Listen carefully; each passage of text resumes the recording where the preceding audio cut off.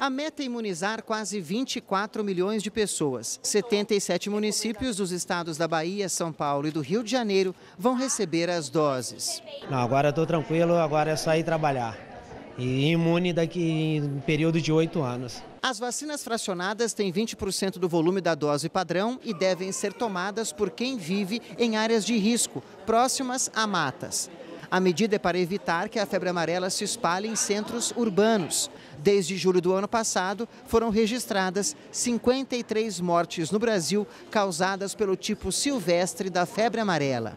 Eu moro também aqui na, no Sumaré, aí tem que tomar logo, porque eu faço corrida também, esporte, é bom te prevenir.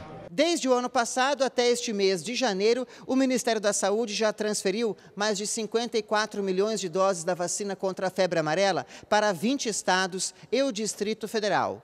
São unidades da federação que têm recomendação para realizar a vacinação.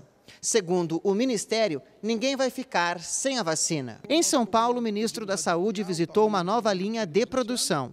Por precaução, determinamos a Fiocruz, a Biomanguinhos, que ampliasse a produção e eles fizeram essa parceria bem sucedida.